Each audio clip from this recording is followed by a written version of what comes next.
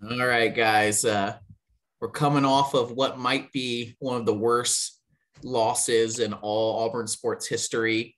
Like we can debate that later on exactly what it is. Uh, we plan on doing a, a postseason wrap, and uh, Matt texted me after the game when I was commuting back that uh, do you even want to do this one? Do we just want to wait a week or two and do like a big season wrap kind of thing? And we still want to do that, but I think we owe it to everyone that's listened all year to hash this out a bit because I think you all will probably be just as much flabbergasted as us and like confused and sad and you kind of need like a therapy session a little bit to kind of talk through this. I personally, that's part of why I wanted to do the podcast is because I kind of need to like talk this through a bit.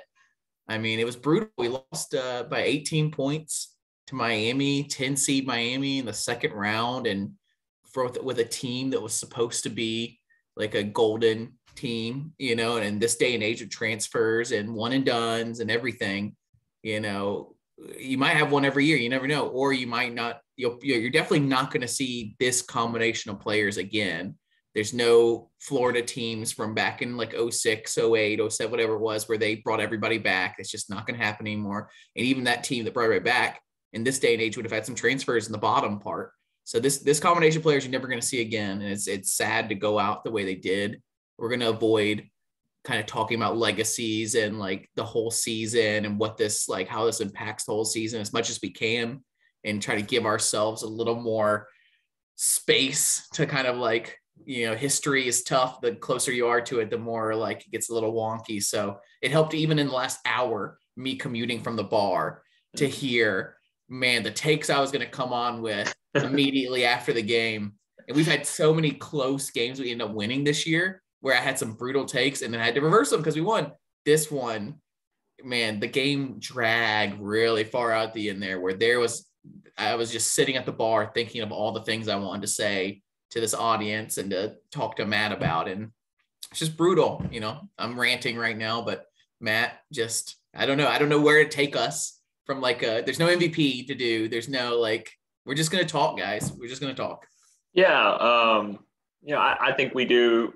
I think our pregame notes were really on, so we'll talk about those. We'll talk about the players. Um, you know, it, I've watched parts of every single March Madness game this weekend, and the the thought I had going into this year, you know, I think we have to contextualize a little bit. We're going to talk about this game, but this is really the second Auburn basketball team ever to have meaningful expectations in the NCAA tournament to, to, to think you have a chance to go pretty deep. Um, the 1999 team was a one seed that lost in the Sweet 16, and that's what they're kind of remembered a little bit. And my fear with this is just seeing all the chaos. You know, Kentucky loses to St. Peter's, Tennessee loses. I'm more concerned. I'm not as surprised that we lost. I, I don't think it's the worst. I'm more concerned about the way we lost and how we looked. The way we lost was uh, unexpected yes. in my head. This is not like lots yeah. of people, including ourselves, said we are vulnerable. We are in a vulnerable two seed. We like we did not right. end the year on like this big, like great. Like Tennessee ended the year on a very hot streak, and a lot of people want to pick them. Well, they went down too. Thank God. Thank God these SEC teams went down. Thank God but we came and a skid and the skid was the guards. The guards were having issues. They were too small. They were turning the ball over. They were shooting too much. They couldn't get our guys the ball. The guys that were our stars were peaking. Jabari was having amazing games. Walker was looking great. I mean sure he had a little injury here there whatever but he looked great and we just haven't had a game all year i don't think where you could lay it so squarely on jabari and walker. Yep. There's been games that Jabari wasn't perfect. There's games that Walker had foul trouble, but we have not had a game all Saint. We've watched how many games do we play this year? 28 plus six. What is that? 34? Mm-hmm. 34 games this year. 33 of them before this did not have this combination of Jabari and Walker playing this badly. We just got to see an Auburn team what it could be next year if Walker and Jabari, like they're not coming back. They're not walking through that door. If this team doesn't replace them with some sort of big transfers or something, that's what it's going to look like out there.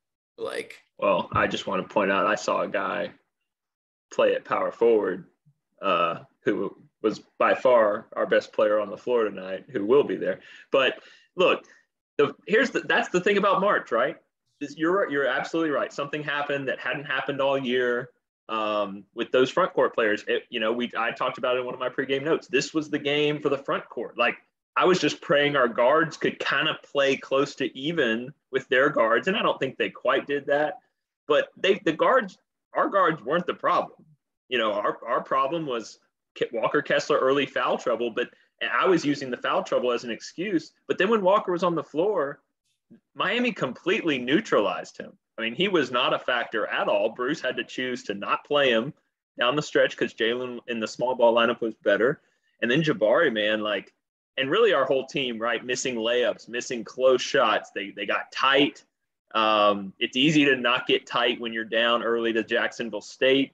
This game felt different because that Miami team did the Bruce Pearl Auburn thing to us. And it was clear very early on that they were going to get every loose ball, that they were going to wreak havoc defensively, they were going to force turnovers, they were going to get out and run.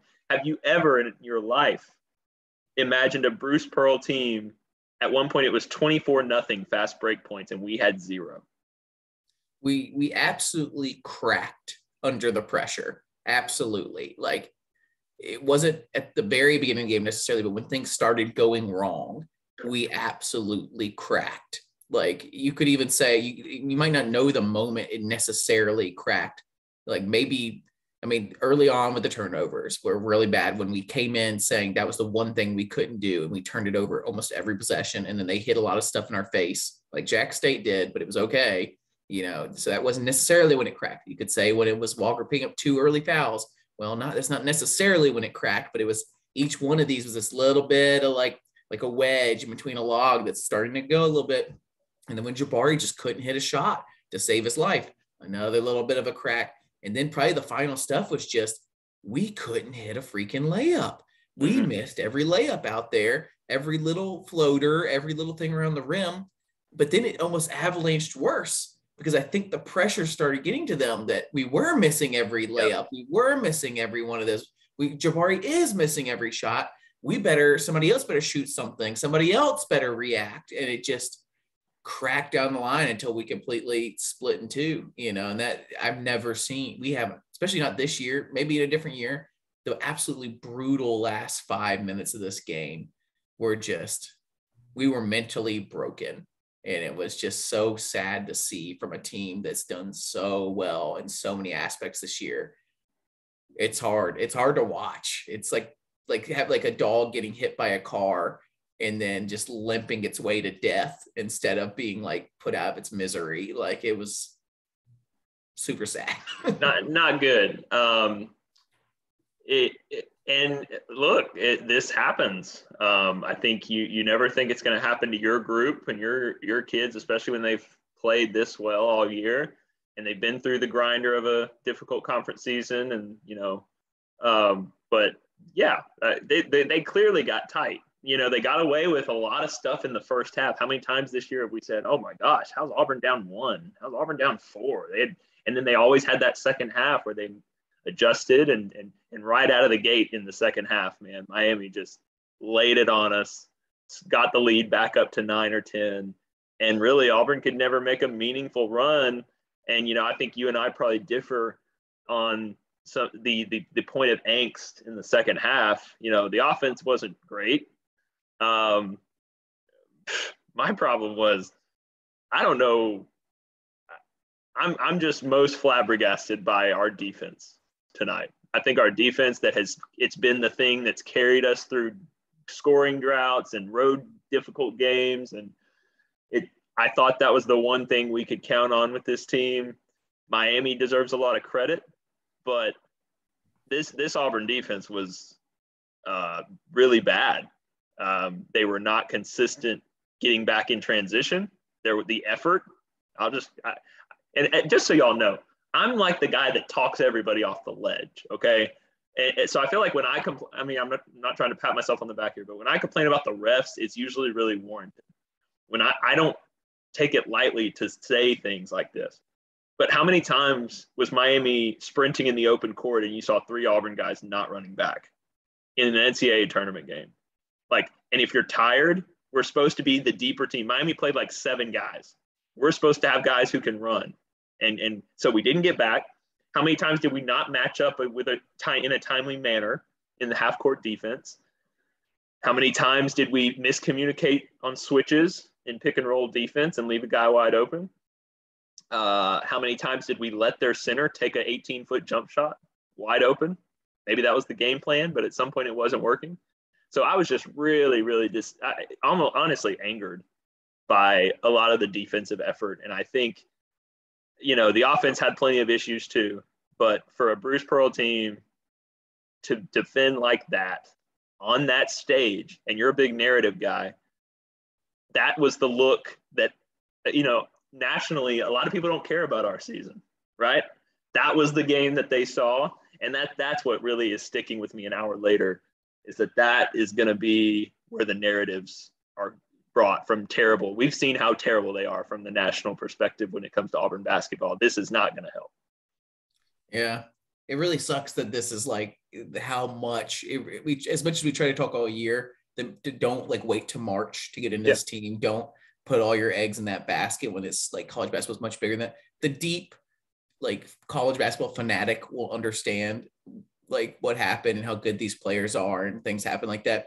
But like 95% of people in the country will not. In fact, like the college basketball fanatic is a pretty rare animal, honestly. Like it's going to be, I don't know. Man. It's a great point because did you, did you catch some of the stuff that Jim Nantz and this crew was saying? They're like, wow, like we just, they had such respect for our team because they are the nerds that are into the sport yeah. year round. And they're like, wow, they're missing so many shots at the rim. Like Jabari, we, we've never seen Jabari play like this. Like, this is just weird. They kept kind of, it, it, caught them off guard. So obviously it caught us off guard too, as much attention as we paid to this team. Let's talk uh, these the stat lines. You know, we were going in on Walker Kessler and Jabari a little bit, and maybe like if you didn't see the stat lines yet, or, you know, anyways, Walker Kessler, two points, two fouls, two blocks, two rebounds. That's it. 0 of 6 from the field. Yeah. Didn't make a shot. 0 of 0, 0 of 0 of 3. His two points were at the free throw line. Uh, Jabari was, uh, I'll go the other way because it's actually the worst the other way, is uh, 3 of 16. We finally got one of those games where he was shooting a huge volume, and it's because he was shooting so badly. He just kept trying to shoot out of it, and we needed him to. I mean, we saw like the one other game that was probably this bad was the Missouri game, and KD saved us, and the defense saved us. That's that's I think that's the point Matt's making a little bit here. The defense saved us that Missouri game. We won it with scoring like 59. Well, it didn't travel this time. We just didn't look like the, you know, at one point the announcers uh, called Miami like a bunch of busy bees, like running around. It just felt like they were flying around everywhere, constantly around. Our guys just did not feel like that. We felt slower. We felt lower energy. We like it's just so weird. This team really down the stretch started feeling that way. And maybe that's the pressure of it's like higher seed and trying to act like you've been there, not having that same motivation. You when know, you haven't like, been there, none of these guys had been there. No, yeah. yeah. yeah. But Jabari's with three of 16 from the field, one of eight from three, and that one was late. Meaning I was I told a, the guys at the bar, I was like, I'm gonna be absolutely pissed, honestly. If like in the last five minutes we knew this game was absolutely over if Jabari goes and hits two or three of these like ridiculous threes at the end of the game, I'm gonna be pissed. like I don't even want to see it. And he wouldn't hit one of them, but he didn't do this like crazy thing he's done in a couple of these games. Three six from free throws. We were the free throws were bad. I mean, it looks like we ended up being 73%, but it just felt like they were. Yeah, we missed some bad. big ones. We missed some really bad time. We only missed five all game. That's crazy to me. It felt like every time we needed a big free throw, we didn't hit it. I guess that's part of like when you're losing that bad and trying to come back every little point yeah. matters so much. But this year, I just I'll, have to look on our postseason thing how good our free throw percentage is because it feels like all year it wasn't really great outside of like Wendell maybe. But I don't know. Those stat lines are so bad from Walker and Jabari. Like I feel like I'm bringing low energy right now, but I'm just so sad. I'm so sad about this whole thing, man.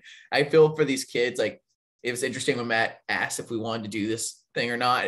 We we've just it's been a long year. We've done so many podcasts. We've been so invested in this team, and a big part of this because we thought this team could be special. And when in those like deep SEC games, when we were kind of like, man, we're putting a lot of effort in for this show.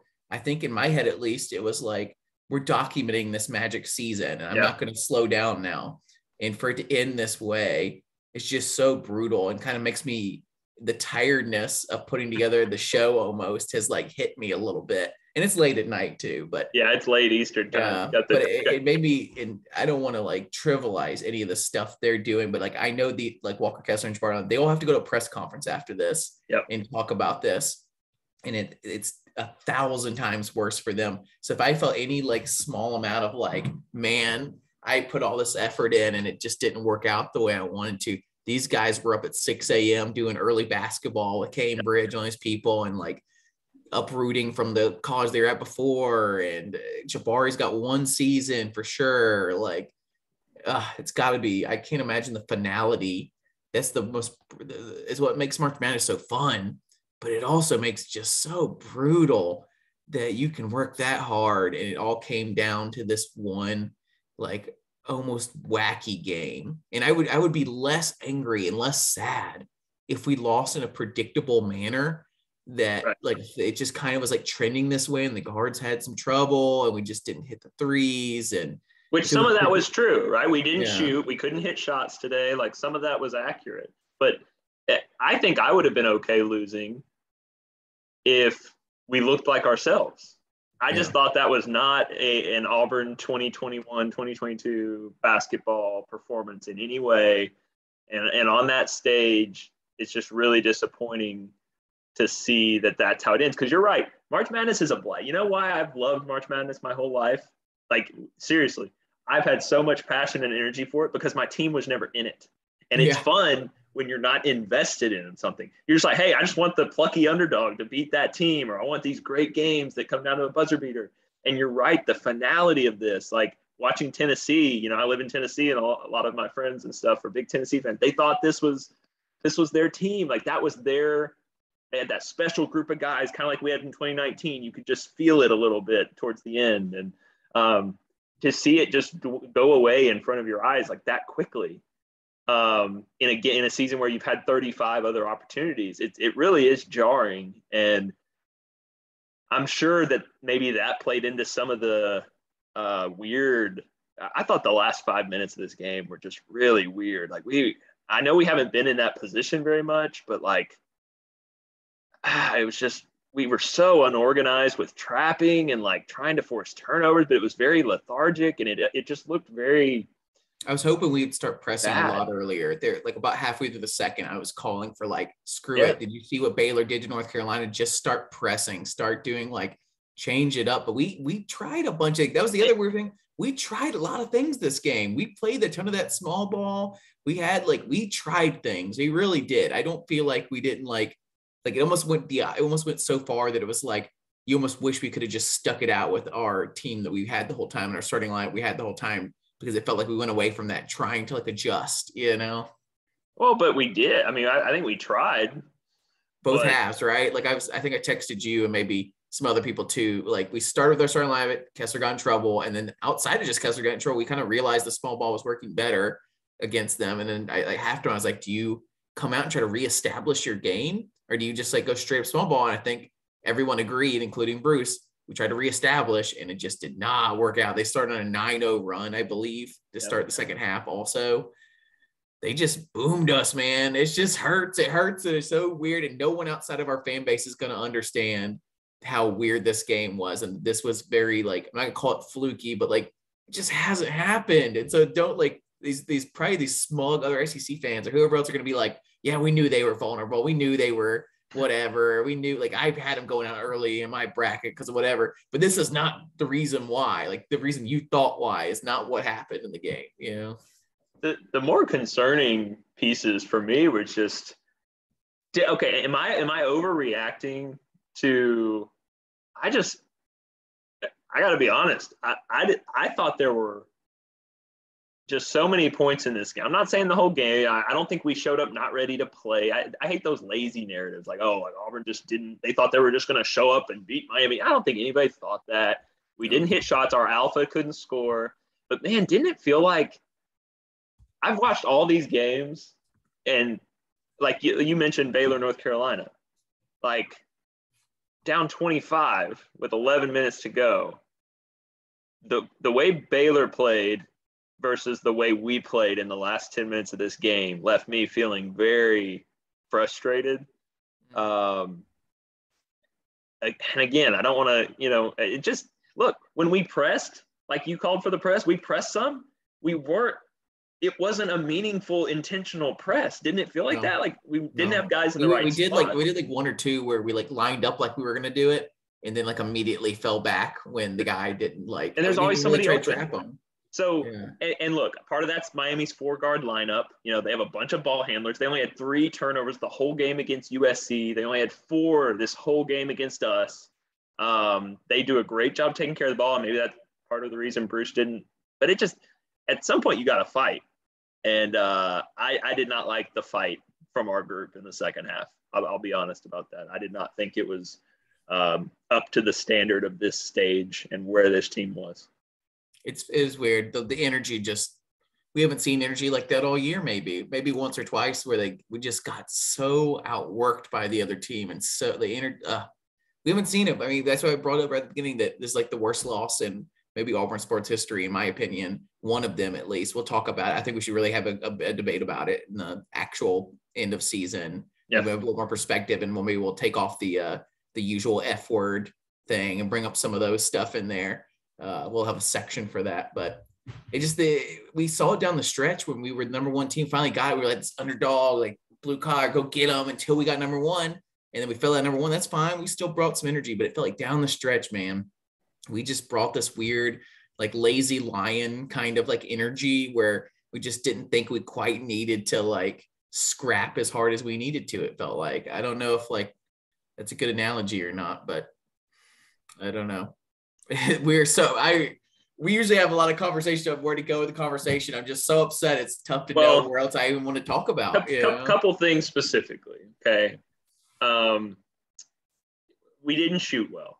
we, we, we missed layup. We shot 30%. It was, it was kind of A and M game again in terms of the, the consistency of making shots, 19% from three free throws. Again, we, we, we hit 74%, but man, every one of the five we missed were, pivotal, kind of like you said, trying to come from behind.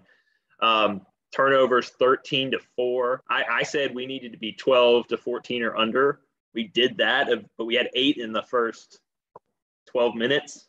Yeah, I was really... texting. I was texting Matt and guest former guest host Ben Young about the turnovers because I was so such a thing that I had in my notes, and I think everyone knew. We talked about in the podcast how big of a deal this turnover thing was. That USC beat them in pretty much every stat line except for turnovers and to start as bad as we did, it was almost it was like it, it felt almost every possession was a turnover. I mean, I was just one, two, three. I was texting all of them. It was three. It was three turnovers in the first before the first time out. For the first like whatever. I don't know. It was just it. It was it brutal. Set, it set the tone, didn't it? Yeah, I mean, it really yeah. did. It it put you in this place where I think the lack of confidence and the lack of swagger kind of started. You really started to feel it. Uh, let me just run down these last couple. Uh, you know, the only thing we did well was the bench. I'm going to reverse this. We talk about how good the bench is. Well, how about our starters? Our starters got outscored tonight 75 to 33. They got more than doubled up by Miami's starters. Part of that is because playing seven, you said the other team played seven, which was even generous. They really there. played six. They played really six because the other guy played seven minutes, and I don't even know if that was like late in the game or what. They played one they played two bench guys, one for 10 minutes and one for seven minutes, and one of their four, which is probably the very end, but like seven. Okay. They probably played six guys really.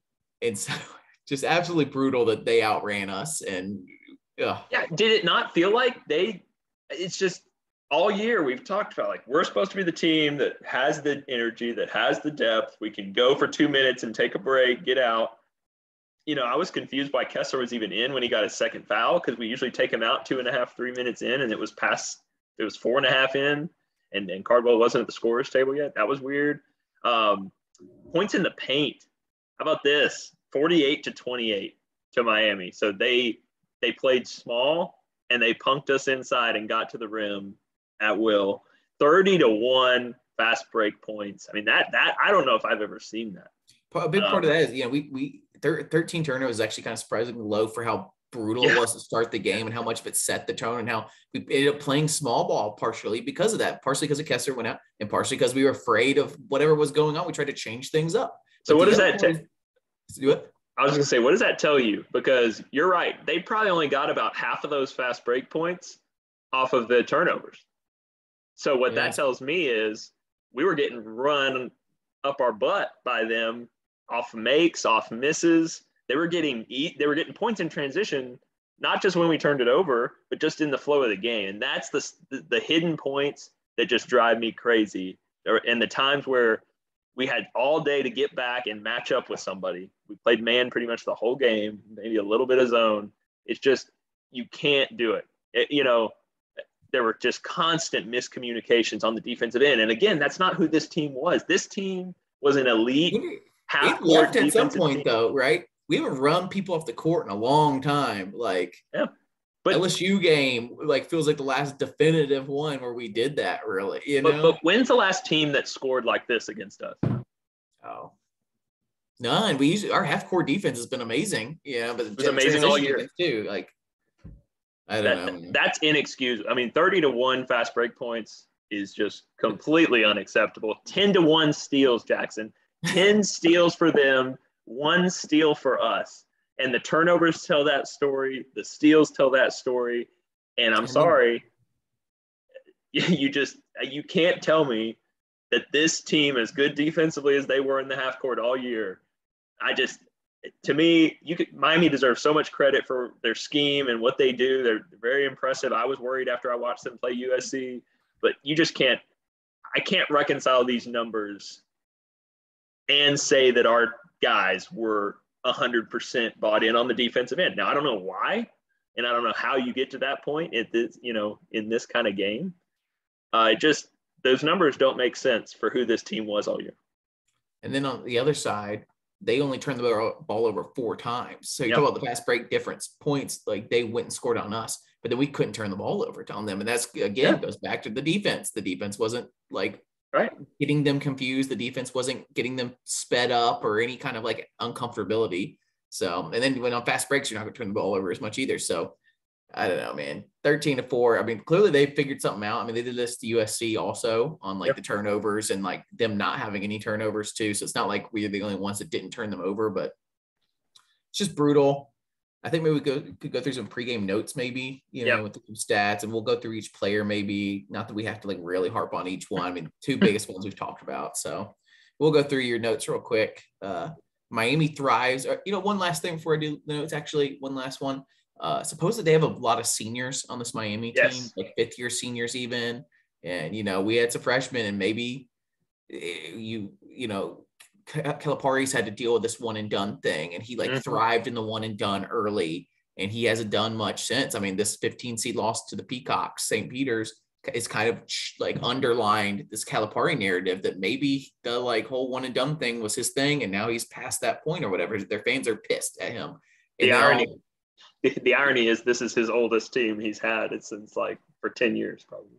Yeah, and so then you have this new era of NILs and uh, transfers and stuff. We thought maybe we had like jumped on it early. And man, look at what we did with Walker Kessler and KD and all these people on this thing. And you know, maybe we're learning that like the team that won the Final Four was a bunch of older players that have been around, you know, and now you, you get punked by a, a team like Miami. Like, so now you got to wonder like, what is the right setup for a team if you really care about March? You know, clearly we won the regular season, so like it's, we were doing pretty good, but like you just wonder if how much that plays into it. So you had notes. You had yeah, thoughts no, on the seniors. No, I, I mean that's. A, I'm glad you said that because that is a huge piece of this. That you know, Auburn is not necessarily super young because of all the transfers, but they're young in experience in this moment. None of them had played in the tournament except for Walker sparingly last year for briefly. So like this was a new thing for them.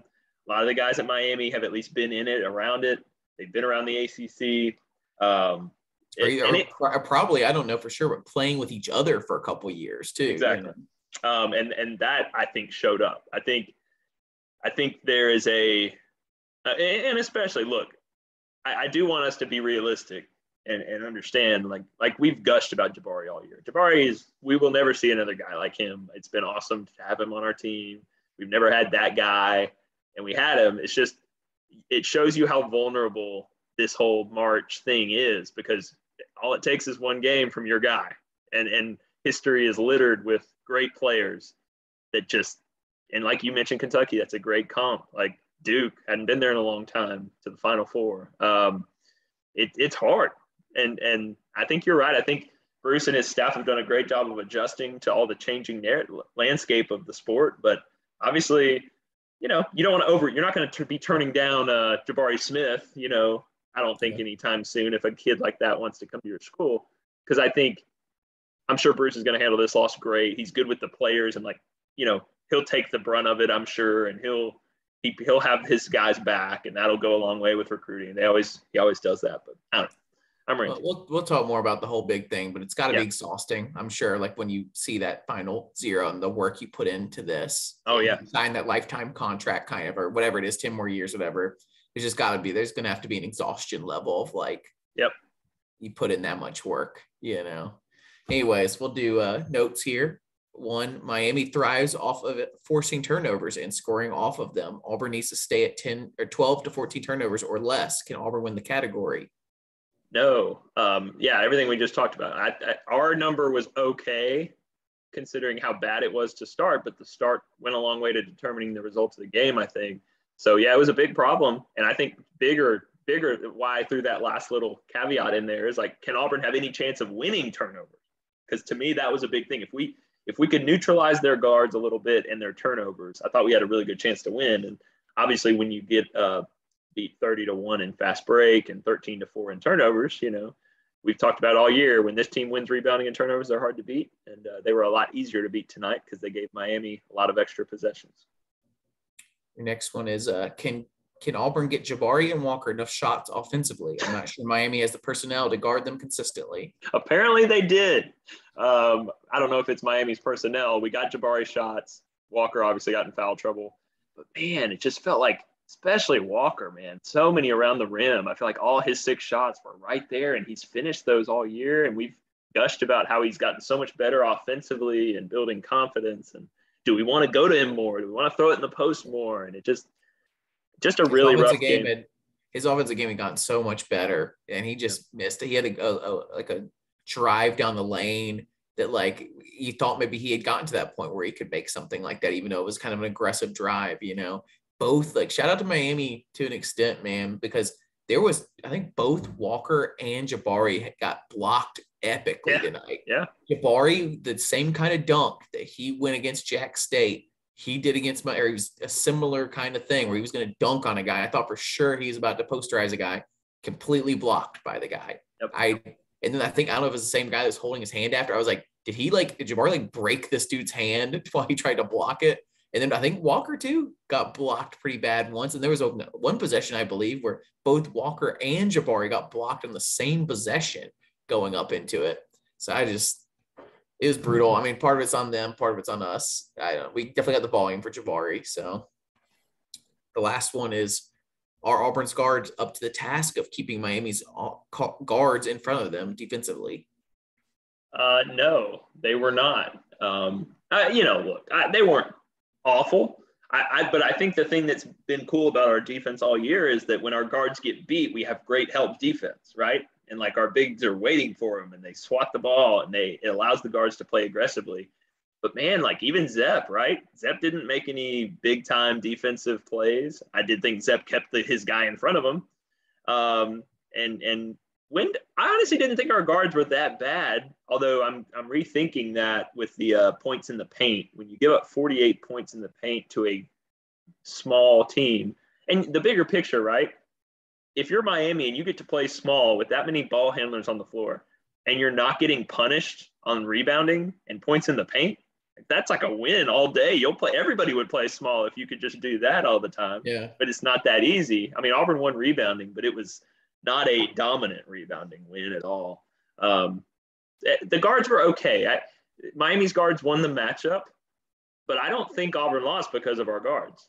I thought I thought KD at one point you know we've gone down the we've, we've had these conversations about when one thing doesn't go right we have several like answers kind of and we thought at one point maybe this is like that missouri game and KD's just gonna like have to turn it on and he was the only one really in that like do it he did I yeah mean, there was there was a little spot like halfway through the second where we were really starting to dwindle that it looks like we could not seem we went down the A, B, C, D, E, F, G, H, I, J, K, L options. And KD went and got a couple tough twos and hit a three. And I thought, man, like I was like telling the people there, like this would be a really good time for a KD Hamburglar moment. Like just get this people pumped up. The crowd is majority Auburn. Like let's get the energy back up. Like we have to do it now.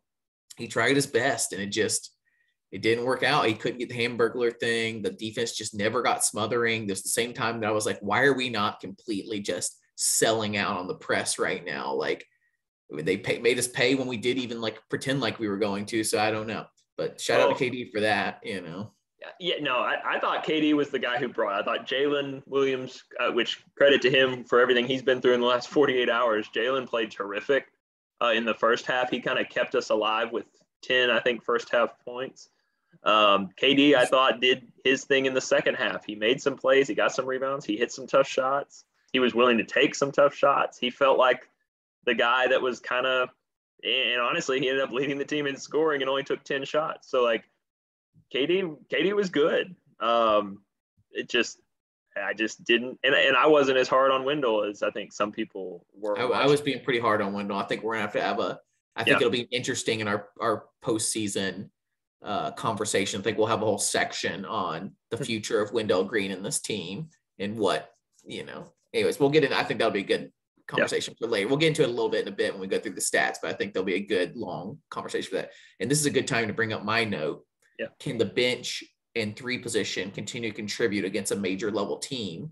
And you brought they, up they did. They and did. I, wanna, I just want to take a section here in the sad, sad, depressing podcast to give Jaylin Williams some claps. Can we give some claps? He man, he but two teeth missing, which I think he got some dental surgery to get him back. If you missed that, he got his two front teeth knocked out in the game before. Immediately went to a, a dental surgeon of some sort after the game, fixed it up, came in and thrived and looked just like he did the game before. We could not hit a three to save our lives, and he hit two of them to like keep us in the game. And it's bizarre. I guess we didn't get to talk about this too. Well, maybe we'll do that in a minute that we were only down one and a half. Yeah. It feels like we just got dominated the entire game. We were only down one and a half. We thought it would be fine.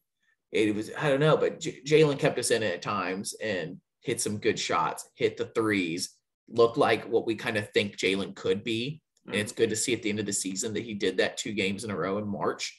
I mean, odd also that he did it two games in March, but he really hasn't done it all year. Uh, like, I don't know, man, but shout out to Jaylin. I mean, our bench was keeping us in it, honestly. Like we just taken like at by at halftime, the bench was what was keeping us in this thing. And yes. I just it gives it was too and, much to ask that they and continue to do that. You know, I, I know this is very low bar for what our expectations were, but I, I want to give a small shout out to uh you mentioned the three position. I mean, Flanigan and Cambridge, they had 10 points and 12 rebounds. I, I, I didn't think they were bad at all. I mean, they we know the weaknesses. Cambridge had a he came right out after he took a really bad three point attempt. Two games in a row, he's shot in really bad timing, like when the team least needed it, an early shot clock, contested three, just brutal. And I think yeah, the coaches right. they, they weren't so they weren't so awful, but they there was a really bad turnover from Flanigan where he was trying yeah. to get the ball, I think to either uh, Jabari or Jaylin, where he just yeah. threw it away, which was also like both of them had really like not awful games altogether, but the timing of when they made their mistakes was really bad. That, that throwaway was like the fifth or sixth turnover in a time where it like felt like that was an underline of like, yeah, things are going badly. but but if I told you, if I told you before the game that we were going to get 10 points out of Flanigan in Cambridge, we were going to get 12 from Jaylin off the bench. You you would have Cambridge been like, had a great Cambridge had a great putback dunk too. Yeah. That was borderline uh I don't know what you call it when it's not off the cylinder. Basket interference. Yeah, it's borderline that, but he had a cool dunk with that one, so that was nice to see. And Flanigan, I thought for sure was going to get a charge or two when he kind of stormed into the lane, and Miami hmm. just didn't make him pay for it. I mean, I guess I've just got PTSD from watching. No, no, I said the same thing. I'm like, dude, that Miami guy didn't read the scouting report. If he just yeah, two days around, but man, this could have this could have mattered. Like we've talked about that to these teams that we played these SEC teams all year, and they know our players and like it's it was two two games in a row where Flanigan really did what he was doing all these other games. The guys just didn't set their feet. You know, like he still annoyed me with how he was still hunting for a shot at times. on offense Flanigan was, when I'm like, this experiment was over. So that, that'll be another conversation. We'll be having some interesting conversations, I think, about a lot of these players. And like, we'll probably do our the podcast maybe like the day after the national championship or something, you know, and uh, yeah. kind of talk through. Maybe we'll see if we can get a guest on or something. Just kind of talk through where we see this legacy of this team and different stuff. And we'll talk about. I think I think there's going to be a lot more shakeup on this team than some people think. I think everybody just assumes this team is going to be everybody back except for Jabari and Walker, and we'll try to replace them with transfers. I think there's going to be some other weird stuff that happens. But uh, and maybe I guess we'll probably see by the time that podcast, by the time we do the podcast, some of this stuff will probably shake out by then. But uh, my next one is can we play through Walker and Jabari when things get tough? Man, we really did not expect the game to go this way. We really thought it was going to be a guards issue in the front court was going to dominate this team, and that's how we're going to win the game. And it was the exact opposite. And it just, I have no more thoughts on that question. it didn't work out at all this yeah. the idea behind that didn't even work out. And you credit credit Miami again. Like I, I, think they did a good job of neutralizing them in some. Although look, we missed short shots, we missed a lot of easy looks, um, but especially I thought the way they attacked on offense was interesting. Um, Kessler has looked so comfortable guarding perimeter guys, and I don't know if he's just the the injuries or what, but he just he looked a lot more hesitant outside today for some reason. It seemed to me like he wasn't able to just really be up on that guy. Maybe that was again, maybe that was the game plan. They wanted that forward to shoot the 18 foot two pointer, you know, the long. They hit a lot of, they hit some tough shots early they on. Did. Just compounded later, and we couldn't hit anything, and we couldn't get the ball turned over, and we were turning the ball over. Uh, another another interesting thing we could say is Jabari. We like hounded on this or talked about this that his last bit of development was needing to like if you're going to be the dude and you have an off night, you got to go to the rim and get some foul calls and get some tough mm. twos. And that's kind of how you continue to be that guy. And it's not like he didn't try that. In fact, he got some tough twos in the first half and stuff. And I was praising him for being like, yeah, your shot's off in the first half, but you went and got some tough twos. You went and hit a couple free throws. Like, good for you. Like, that's the part of the game you had to develop. It just like he he can't do it for full game, honestly. He's just not there yet. And I was praising him for that. But then his shot was still so bad in the second half that it just wasn't gonna matter, you know. My, yeah. my last note is can we be the ones that force the chaos and capitalize on it? Absolutely not. It was brutal. It was exactly what I was afraid of that they'd be the ones that kind of buzzing around and creating the chaos. And then because they're the ones that created the chaos, they're thriving on it and, and finishing the ball. I wanted to be the other way. Like I almost made my note, like, can we speed the game up and cause a lot of turnovers? But then like that, like incentivize it, maybe either team could thrive in it. Not only did like they sped us up. We didn't speed them up at all. They turned us over. We didn't turn them over at all. They capitalized. We didn't. Like I, exact nightmare scenario. I, think I think um, my I said to somebody this tonight before the game started. I said, doesn't it worry you just a little? Like, it just doesn't feel like this team thrived in the chaos as much as other Bruce Pearl teams. Like, you know that that's kind of always our thing. We want to muck the game up and make it a little ugly and up and down and I guess maybe just having two big guys that are so good, we just never seem to be that team this year. I know we had some good chaos moments in that 19 game winning streak, but I, I've grown to believe that that was a function of everything, the momentum, everything was good. You know, everything was flowing, and we were able to do okay in those situations. It seems like lately, every time the loose ball, the ball's loose out there, I'm just not confident we're going to get it or make a play with. How many times did you see we had these opportunities today where we got out on a break or we got a, a, a, loose ball and then we can't do anything with it. And then it's going right back the other way, you know, at our basket. And I don't know. It's weird. Like I was going to say that maybe it's like our guards are not good finishers. Uh, uh, you know, the Wendels, the Zeps, they're not those two at least for sure. are Not good finishers at the rim. In fact, well, Wendell he's done some great ball moves and finish at the rim. Also, they're just not tough finishers. Not going to finish through contact. The only and then KD has done that at times, but he's had a lot of issues in transition a passing or B like doing this weird thing where he picks up the foul but doesn't actually finish the two and then gets one free throw and just like it's like automatic that he's going to do that pretty much. And like he's dunked it like one time this year I think and everybody's like cool he can dunk. Like I wish he would do that more in transition. But I don't know. And then we had Allen Flanigan who should be the guy that finishes through contact but really what he did all year was catch charges instead you know? So I don't know man. We yeah I agree. We didn't thrive in the chaos. We've talked about a couple podcasts. We just did not finish line transition, your all-time favorite play was when we were doing transition stuff and Jared passed up an open two to throw it out to Bryce for a three. That kind of attitude on the team just never happened. Like we did cause turnovers and like the Cambridge alley oops are kind of the, the closest thing we got to like that kind of attitude that we're going to turn the ball over and we're going to run and we're going to finish and we're going to do cool stuff. But like there was never that attitude of like, I'm going to toss it out to the open three guy because we're going to cause so many turnovers, so many fast breaks that this is not that important to us. Like we're just going to keep going. I think that in my head, like it was a combo. Like they were so confident in, in Bryce's three game yep. that they would toss it out there. But also they were going to do this so often, they could take some risks. When we got out there, at least recently, probably the last 10 to 15 games, we were like, we better finish this in transition because we don't know how often we're going to get that. Yeah. Yeah, no, it's a great point. I th- and I think it should highlight how special that group was because that, that was weird. Like you could ask anybody, like that was a weird thing we caught fire with at the end of that season. And uh, I think. Could you imagine this team on a transition tossing oh. it out to one of our players over there? Oh. We would lose our minds. We were we were we were cool with them doing that that team, and they could even miss, and we'd be like, "That was all right. That's cool." This team, if they threw out, Wendell or KD threw it out to an open Jaylin or Cambridge or something, I would be absolutely like boiling. Yeah.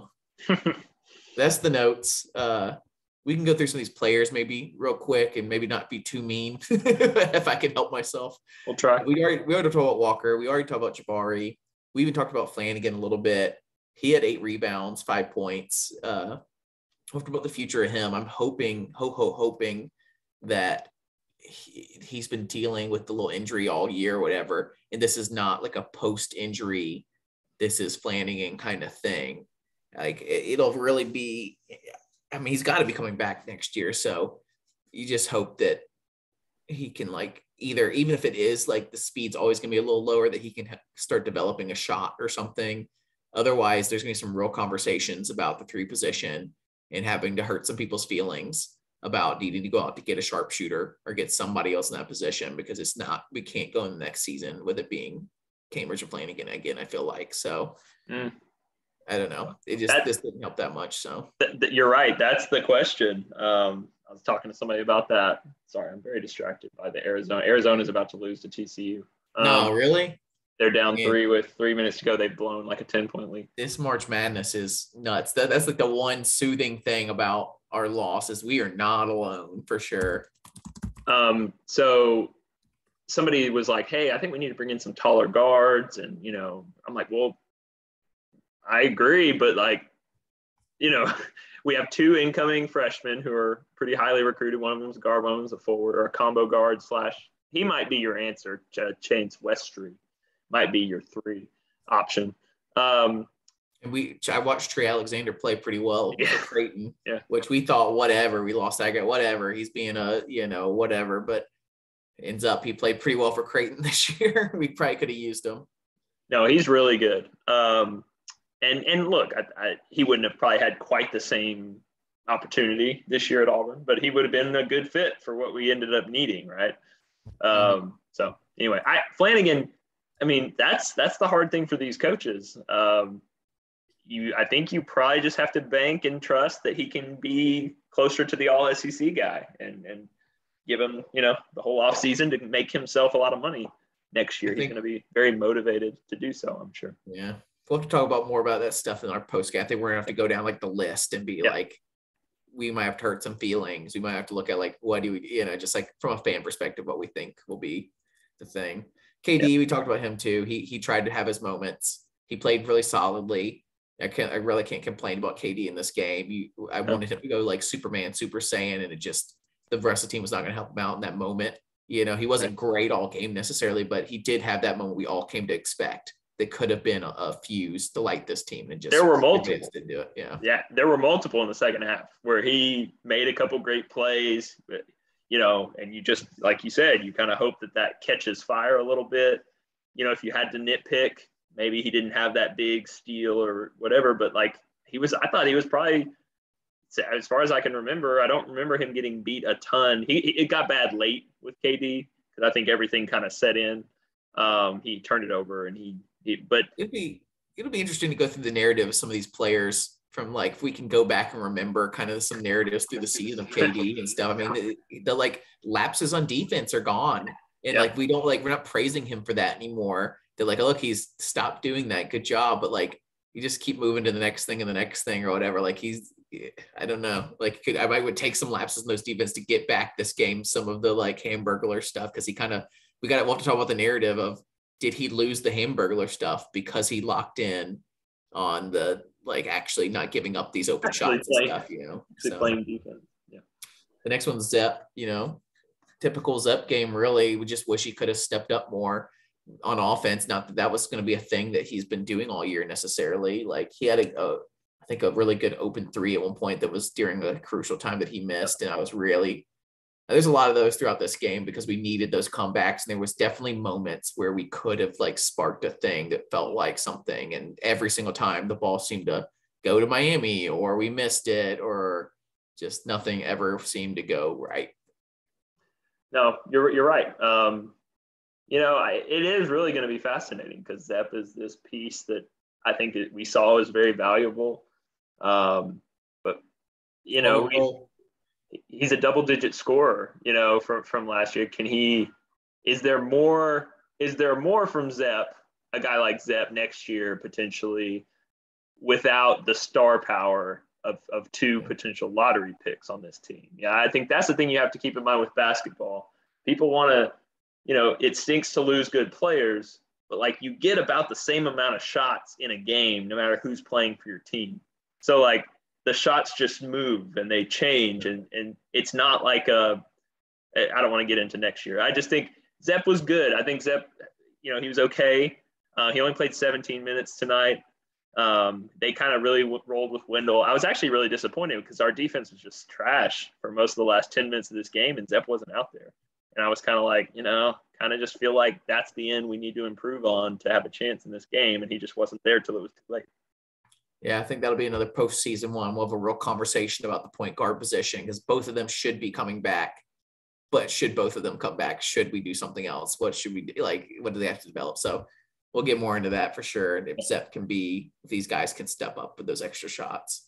Uh, we talked about Jaylin. Great job, Jaylin. We can talk about Dylan. We played the small ball a ton. So we just did not see like Kessler and, and Dylan ton. Dylan played 12 minutes which is actually more than he usually plays probably because he played a lot in the first half when Kessler was out. But then the second half, it was really strange to watch us play a lot of the second half with no center. And I mean, Dylan didn't play bad or anything. He actually had some really good defense at times uh, where they got left by himself down there, which is usually fine when we leave Kessler by himself down there. I was getting a little irritated that Cardwell kept getting put in weird positions. I was just really glad the refs didn't blow the whistle a bunch of times where it was like one on one. And when Kessler's one on one, I kind of get excited when Cardwell's one on one like that, I'm expecting 50% of the time probably there's going to be a whistle on it. So he didn't get those foul, like he didn't get the fouls on there, but he also just disappeared because he didn't get to play. And we're not going to expect much from an offense. So I don't know, not a lot to say honestly about Cardwell. It's weird. It's weird that he played 12 minutes and he has literally no no shots, no assists, no fouls. He had one rebound in 12 minutes. Just kind of weird. It didn't feel like he was very impactful in those 12 yeah. minutes and maybe that's how Miami was playing. Um, like you said, he made some good, you know, he had some good defensive maneuvers at the basket, but stinks for him, you know, somebody we got to talk to a few weeks ago. And um, I know they had really high hopes with this group. And, you know, you just hope that, uh, yeah, sorry, I keep going to next year because that's now like that's where it's we're tough. at. It's tough. I, I talked to Matt before this that we wanted to like try to steer away, try to talk the game, but I said I knew it would be really tough because all these things we've talked about these players we were always talking like well what can we improve on what can they do differently what are they going to do next game what do we need them to do but now everything's in the past tense so it's really hard to like not project to next year when so yeah. much is uncertain right now in college basketball so we'll we'll move on to the next guy the last guy to really talk about is uh, wendell uh, green which i think we'll have a little conversation about 11 points three fouls three turnovers five rebounds four of 14, one of six. I don't know. He's, he's becoming a very controversial figure in the fan base and amongst myself, even because he does things we need him to do. Yeah. We need him to be a guy that makes this team go. I think everybody knows that. And he didn't play some like, he's had a couple games where we like want to like put it on him. Like, man, he just screwed it up. He shot too many times. When it, it's just weird to have a game like this where Kessler and, and Jabari played so badly that like whatever Wendell was up to pales in comparison. Wendell could have had a god awful game. It wouldn't matter because they had such bad games themselves that like it's just the importance is so different. Like we kind of like talk about Wendell's like importance to the team after like we the the Kessler Jabari thing was almost like a given. It was like they are the most important. But after that, it's Wendell. And we talk about Wendell because like Kessler and Smith are such a like they were the default. They were there. They were always there. So like you know, it's like we're going down the list now with Wendell. But I'm not happy with Wendell necessarily. I just don't think. I think we need to talk a little bit in the postseason show about like, is he the actual solution? And is he a bad player? No. But is he what we need if we truly think of ourselves as like a team that wants to win an actual title? I think we'll have to talk about it. Yeah, that's fair. Um, it, it definitely, now that the season's over, felt like he was kind of the barometer. That's the word I've used. It just felt like when he was playing at his peak, this team was really hard to beat. And then it never felt like he got back to that after he was out for a little while, right? Or was he out or was Zep out? Zep was Zep out. was out, but I feel mm-hmm. like teams figured Wendell out. And I don't, and the things they figured out about him are not things he'll ever be able to fix. And AKA he's short. And then he also just can't. I mean, Jared was short too. We've had other short guys. McCormick was short. Sharife Cooper was short. But the situations that Wendell gets in, they didn't get in. The like the t- like rarely did we see teams get to abuse those other point guards down low. It's become a trend that not all the time. It's like two or three times a game they find a way to work the ball into some sort of back down position on Wendell, and they almost always either score or Wendell fouls them. And also, when Wendell fouls them, he does it so terribly, they almost always finish through him and get a foul call with the made two, which is another thing that happened tonight. And it's getting really bad to where it's like almost like going to give up a certain amount of points to the other team because it's going to happen. They're going to figure it out. And then two, there's this this this pit the, the like I need to find a good word for because we're going to keep talking about it. When we lay the the pick there it's like a pick and roll. The two guys come up on him, his guard and the other guard come up on him. And it happens to every team. We've seen it to other teams, and other teams have struggled with it too. But man, Wendell really struggles with it. He has to run away from it every time or gets stuck in there, and our offense completely goes to trash. And I've yet to see maybe one time this game where it felt like we actually like did something productive out of that. Like I don't know why you don't just do it every single time with him. And those are both like fatal flaws. You can't fix that he can't pass over those two guys. You can't fix that he's going to get back down. Like it's just not going to happen. The the the size on defense is you're right. There's not really a fix to that other than having really good help defense to to be there to you know help when he gets in trouble. Um, the offense thing, I do think that's fixable uh, with a lot of. I, I think I thought you would come on this podcast a lot more coming in hot about how uh, you know we we were very honest on this podcast about Auburn's offensive sets and philosophy and strategy. And it really comes through in a game like this where it's like it, it's just not good. When it's not good, it's not good. There's not a lot of stuff to redeem it, but there's ways to run that pick and roll in different spots on the floor where that's not going to be as big of a problem. And you saw one in the at one point Wendell split the defense beautifully, and we got right there because we had we didn't put the screen and roll on the very wing where they can use the sideline as a third defender. You know, like so that I think we can scheme around a little bit. But I, I, my only counterpoint to tonight, um, I thought Wendell did a lot of things that no one else was doing that we needed. Uh, he had some beautiful passes, led the team with five assists.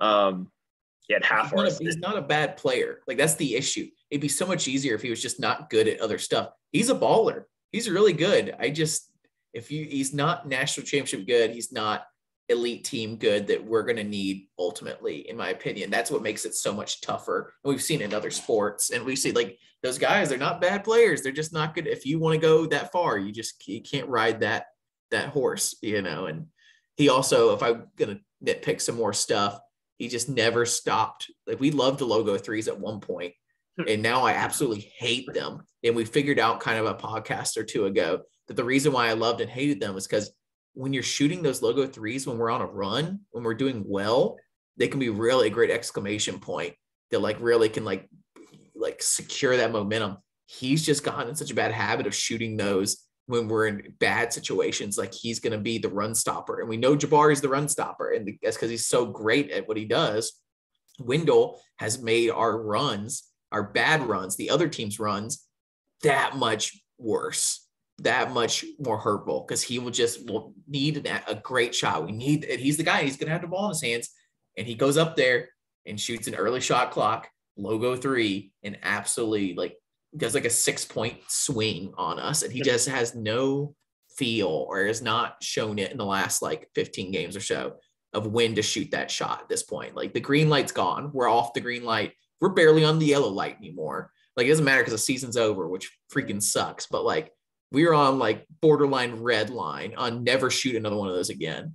Like it's gotten he doesn't make them hardly anymore. Like he made them in that like final minutes of that SEC tournament Texas A&M game, but like he just has no feel. He's a liability on that. And we can talk about the scheme stuff too. Like I think you had a good point on that. Like part of like what makes him look so bad, these end of regulation, like end of halves and regulations, because our schemes are so bad. It's not necessarily like people are like, ah, freaking Wendell screwed up. Like there wasn't an offense. like we did not draw anything up that was actually going to work.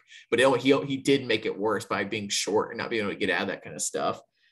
So I don't know the, the scheme stuff we, we need we should talk about that too in the postseason stuff. We never will like question Bruce or anything. He's one of the greatest coaches in college basketball right now.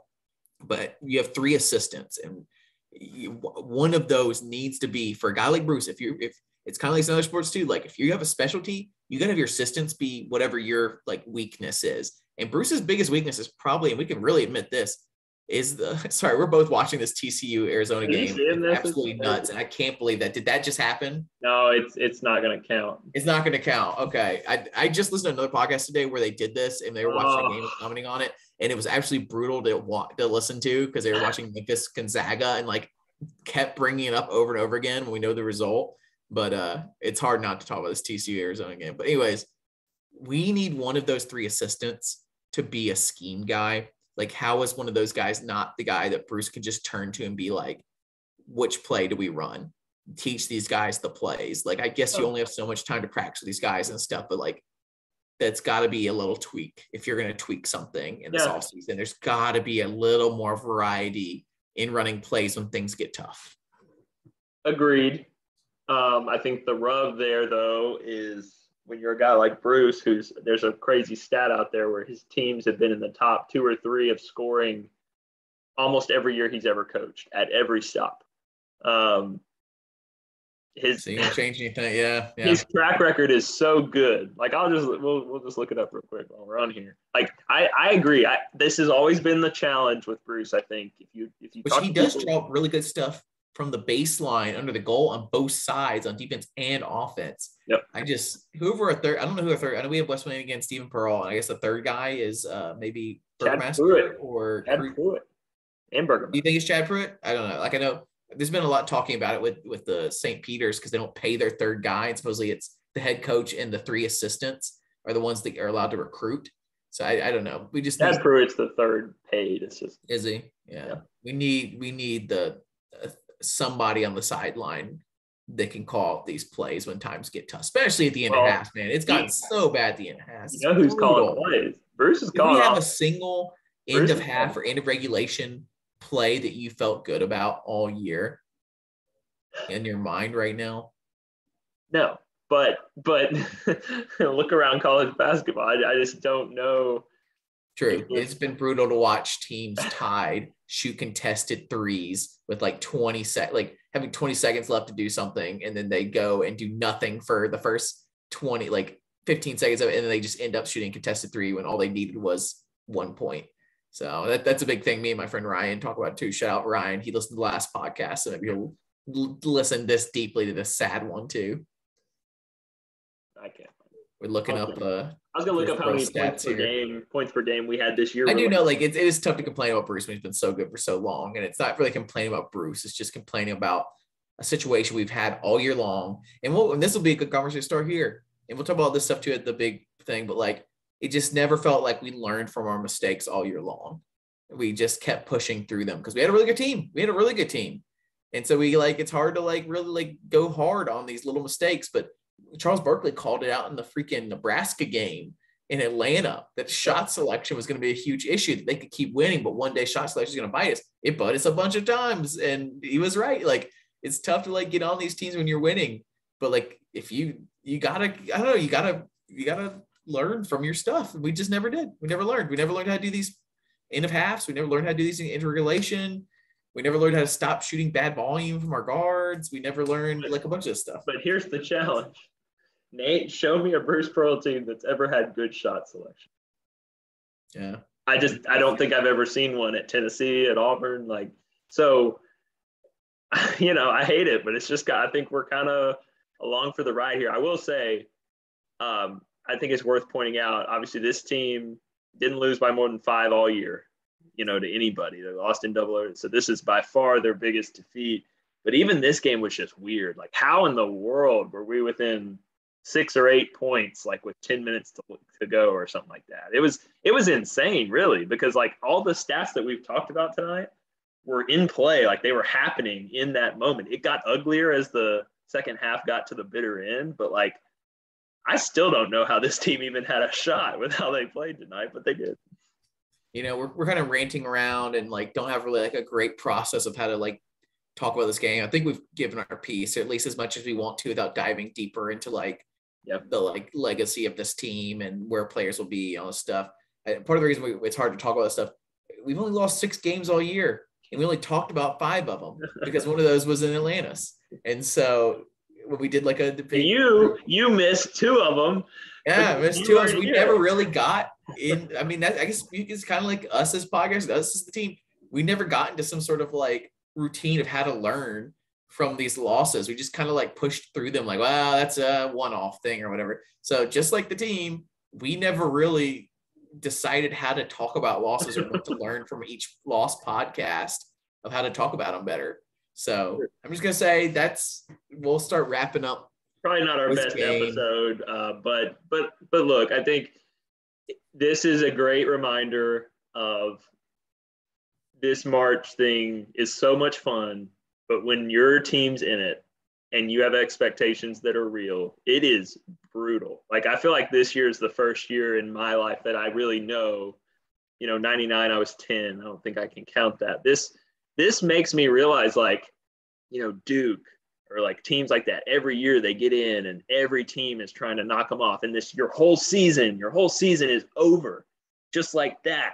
You know, I was making plans for Chicago. By the way, Iowa State beat Wisconsin before our game. We were going to get to play Iowa State to go to the Elite Eight. Everything was falling our way. It and was. We just didn't do it. And uh, a lot of other teams aren't either. And uh, I, I, will try to leave it on a little bit of a more positive note. We'll, we'll talk. We'll look at the bracket real quick too, and other SEC teams and some coach stuff real quick at the end. But uh, leave it on a little more positive note. It, it's such a crapshoot in March. We've never been in this position really yeah. to lose early with such expectations. Like you said, the only other time really was that one seed in '99. We just haven't been through this, and it really sucks that. So we've like you're kind of like throwing a dice every time you get in these tournaments and every seed that you go up you get better odds kind of if you're a one seed you throw that dice you kind of have like a 50 50 maybe like 25% chance or whatever to like do really well like or like throwing the dice like it's pretty rare roll that you're going to do this badly we just hit the snake eyes on like a seven die like the if we had a seven a six die thing we hit the one you know, like it, really sucks. And we've we've really had the opportunity to even hit that one. You know, we've had the five seed go all the final four. Yeah. So we we rolled really lucky on that one. We needed a six, and we rolled a six on that one, the final four years. So we got to like experience that.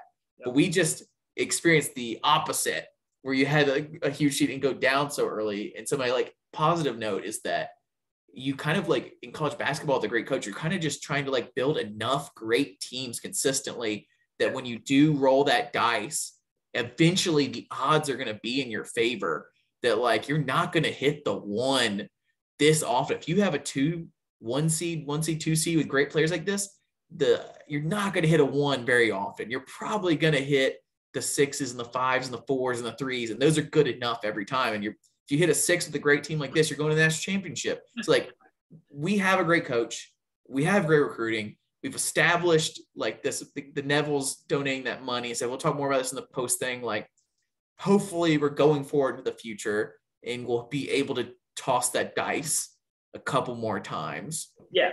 Well, it's it's a big opportunity and we we missed this one. You know, we we I think our fan base got a little weirded out. You know, everybody just forgave the 18 team for losing the second round because they were out of gas and they didn't have starters, and you just knew they weren't quite. We were just happy to make tournament first time. Yeah, first time in 15 years, and then you had that incredible. What everybody should realize by now, like that is a historic all-time run that Auburn went on as a five seed to go through the teams they went through and arguably get robbed or make a mistake at the end of like being a potential nat. Like that was crazy. Like that's not normal. And I would argue what's more normal is, you know, all the all all the great season buys you is better odds early. Like that, that's all it does. It, it bought us a game to try to get some stuff figured out that clearly didn't work. And you know, you saw Baylor go down, you saw Kentucky go down as a two. You know, we go down in the first weekend as a two. Tennessee was as hot as anybody; they go down. It happens to everybody, and I just think the next step for us is first of all to be in. You you've always been on top of a great.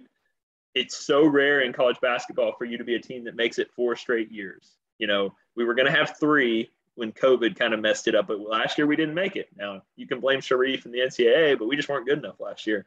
This is one.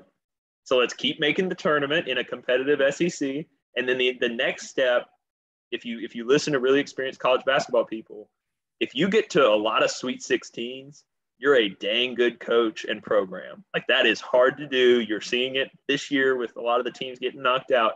If Bruce can kind of, obviously, we've only done that once now with Bruce in eight years. We've made the tournament three times and we've made two second rounds and uh, one Final Four. So, like, can you get to that second weekend more frequently? And you can do that as any seed, right? You're seeing 10 seed, 11 seed, like get in yeah. the dance, get hot, know who you are, and you can make, you can do some damage.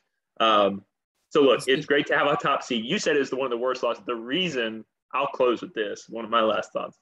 The reason this feels like such a choke and such a terrible game is because we accomplished something for only the second time in our basketball history we put ourselves in our position to choke, if that makes sense. Yeah. Like it wouldn't be a choke if it was a six five matchup or something like that, and we just got beat. It, but because Auburn had the target, because we had that number one, you know, number one for the first time, 19 game winning streak, uh, SEC regular season champ when it, a year when everybody thought the SEC was really good, which we can debate that now. Um, yeah. Anyway, that that's a lot. But I think the reason it feels so bad is because of how good this season was. And going back to my original thought, the thing that just is sitting with me tonight is I hate that this is going to be the, the, the image, the two hour window that a lot of people out, we'll, we'll always appreciate this team. You and I were there to watch them cut down the nets. This is always going to be a special team with some awesome memories and some great players, no matter what it looks like next year. But I just hate that this is going to be the lasting thing about this team for a lot of people.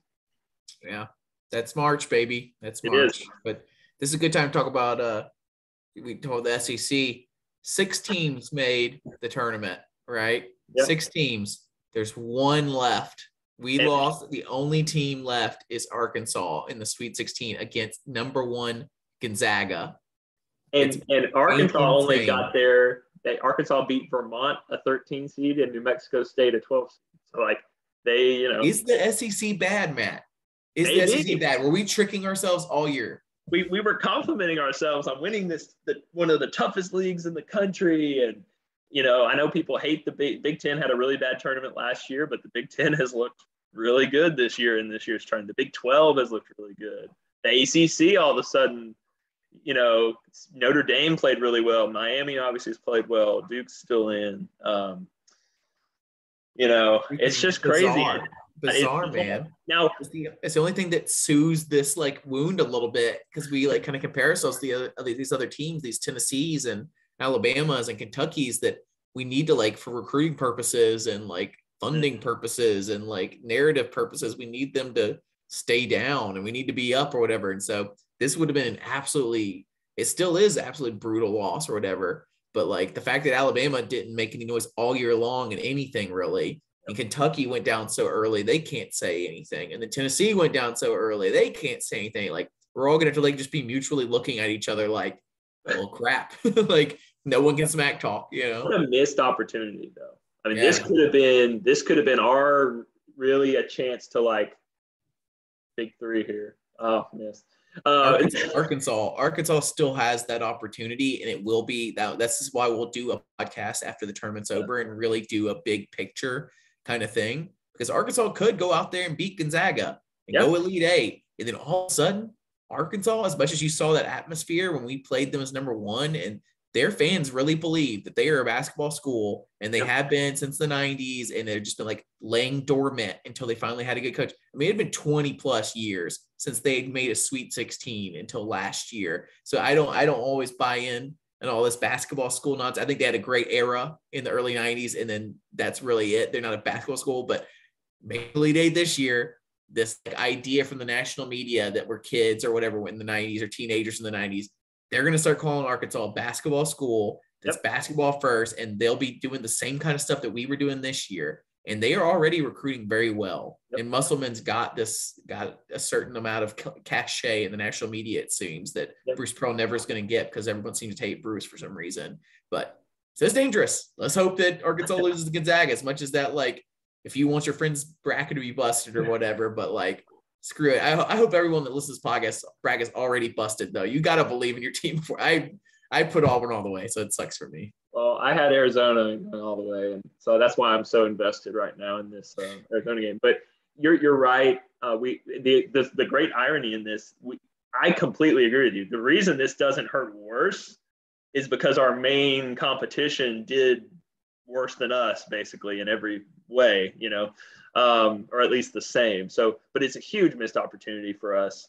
Um, I really think Sweet 16s matter as much as Final Fours get a lot of attention. I think getting to that second weekend is so difficult, and it really felt like this team, but belonged at least in the Sweet 16. I mean, I, I was never Final Four bust necessarily just because I know how hard that is, but I just man, I was just hoping we could get out of this first weekend and figure it out. No, but no one says made round of 32 or like they say that should have made the tournament, but that is like a low bar for like if you want to be a big national thing or whatever. But Sweet 16, people throw that in your little stat line. Yep. Like, oh, Bruce Pearl, what a great coach. She sent them to the Final Four and he's won the SEC this many times. And he's been to this many Sweet 16s and one Elite Eight and two Final Four, whatever, you know. But like they don't they don't throw in the made this many tournaments usually, you know. You remember all our banners at the top of Neville Arena, though. There is one for the round of 32 that we'll get to add. And, and, when we were there sitting in the stadium, I looked around. There are entirely too many banners in the stadium. Honestly, they need to like like make. I mean, you don't have to necessarily remove anything, but you need to make some smaller. You need to combine a couple of them.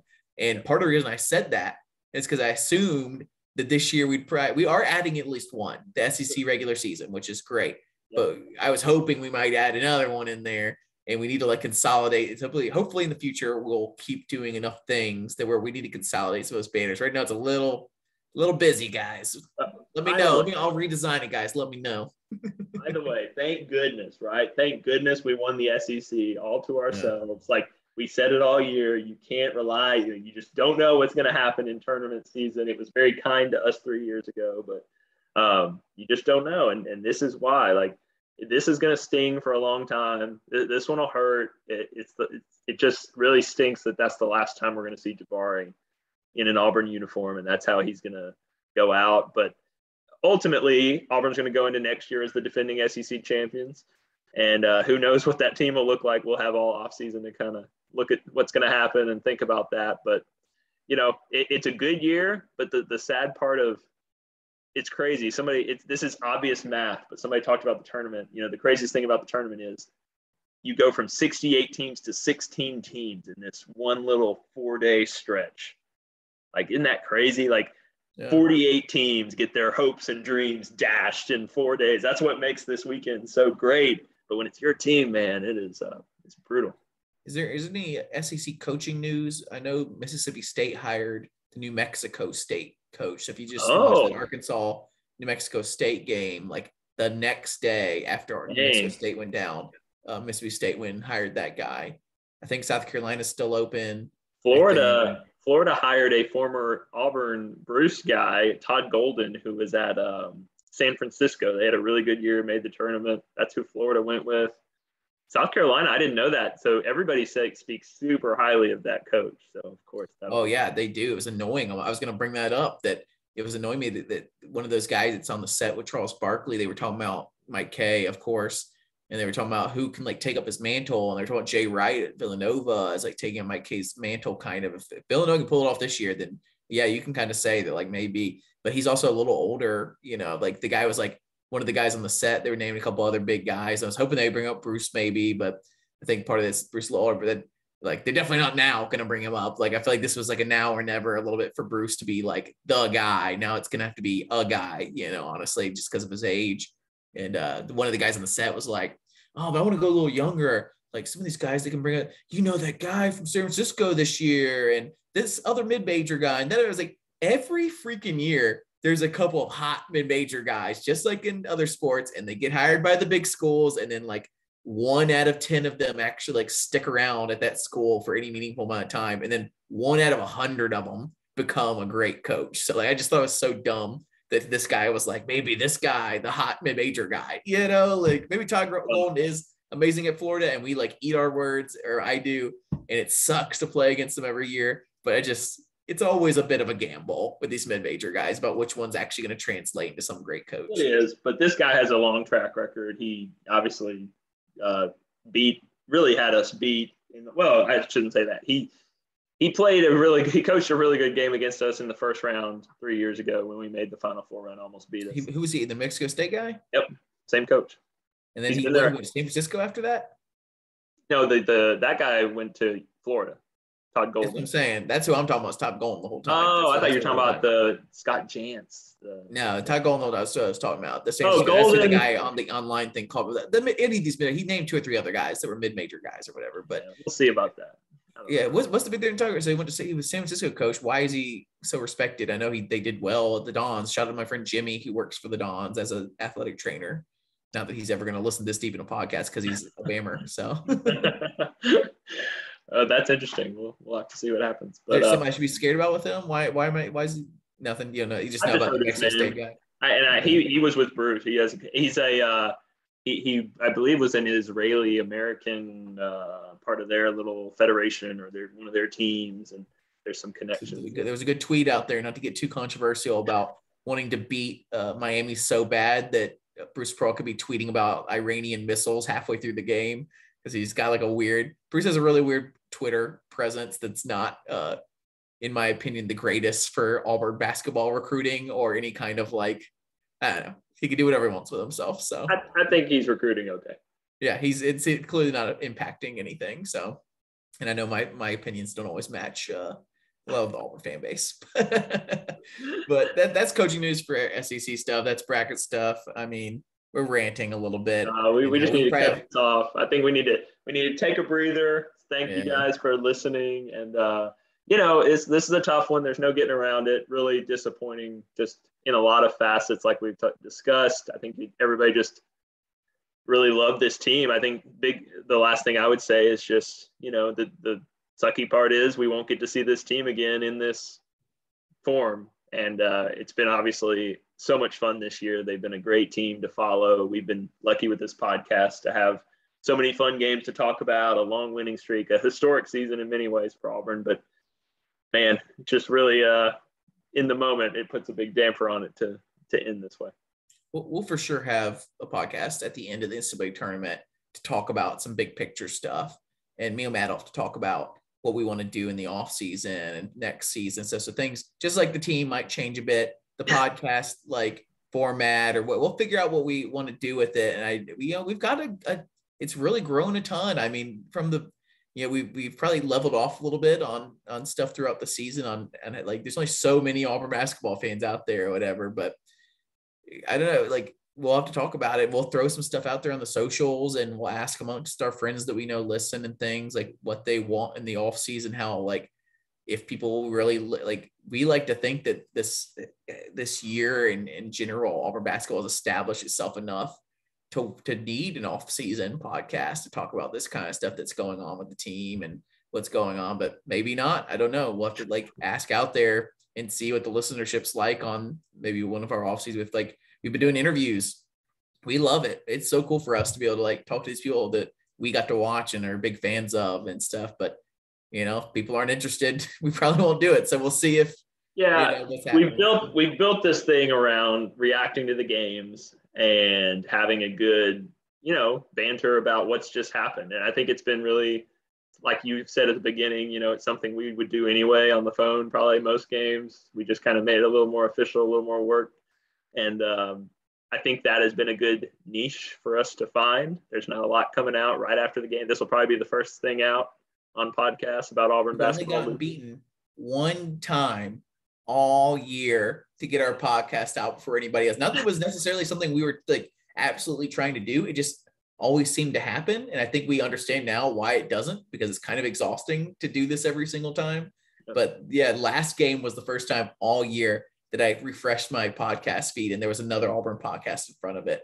And I think like you're you were getting to a little bit, we have a little bit of a niche on like doing the post game thing and being fans covering it. Pretty much all the other podcasts out there are beat writers and people that are getting paid to do it. We don't get paid to do this or anything like that. It's just two guys having a good time and so they do it like once a week. And the re, a big, the biggest reason we probably do the bias, we want some, there's just for basketball. This team's too good. This program's too good to share with everybody else. Like all the, there's a ton of just F word podcasts and like that happened to cover basketball at the end of it for 10 minutes. We wanted a real thing. So well, you know, throw it out there and let us know if you're, if you listen this long, please message us, please email us, please whatever, find us and tell us that you want this in the off season and you want to hear some recruiting news or whatever, you know. My personal opinion, and we'll like I like you said, I think we need to see what the listeners. I I, I will just say from my years of experience as a big Auburn basketball fan, um, we are severely lacking in year-round coverage in basketball in our traditional mediums. Let's just put it that way. All the paid sites, all that is very underwhelming uh, mostly. There's some people who do decent stuff, but that's why we did this. I, I still think there's going to be a market for it, especially the way this ended. I don't see major entities, you know, changing their approach. Maybe if Auburn had won the national championship or gone to another Final Four or something. Um, but I still think I think there's a market out there. I think people are so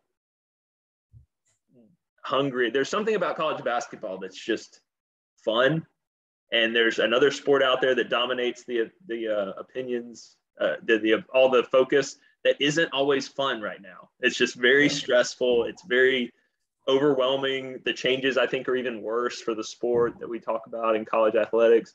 I think people are, especially with Bruce and what he's built, people are drawn to this. Like people are really enjoying Auburn basketball, and I think hopefully in some small way we can, like you said, maybe it changes a little bit, but I think I think there's something here, you know, and I think our numbers kind of dictate that. Yeah. So I think we'll try we'll try to do something. We'll we'll we'll talk it more out in this big postseason show. So guys, thanks for a great season. Thanks for listening along. We had a good time doing all this and made some friends and interviewed some cool people and uh we're just dragging it out because I'm a little sad it's over. we'll we'll have like like Jackson said four times. We'll have another one after the tournament's over. Ben Young had reached out. We were going to do a Sweet 16 preview. We were going to have all these great things, but uh, this is how it goes, man. We, we there was a chance Malik Dunbar was going to come on if this was a win. It was like a whole thing. Um, we still have some more interview. We might check out what Sonny and uh, what Sonny might be up to in the off season. I think he would be a good conversation no matter what. And uh, Yep. Maybe see what Marlene's up to. I'd love to get back with Marlene and see if uh, what her expectations were pre season as the director of communications and see what it was like as a full ride at the end, you know. So we will catch up with some people. Yeah, no, we'll we'll, we'll see. This has been so fun. Um, you know, it, it this one will hurt for a while, but we really did have a blast getting to. I'm glad you and I got to go to a game in Auburn Arena and, and see us win the SEC and um, just the it's been awesome. We'll talk more in our next episode. Uh, it's just been so cool for us personally. Just some of the things we've gotten to do this year and people we've gotten to talk to.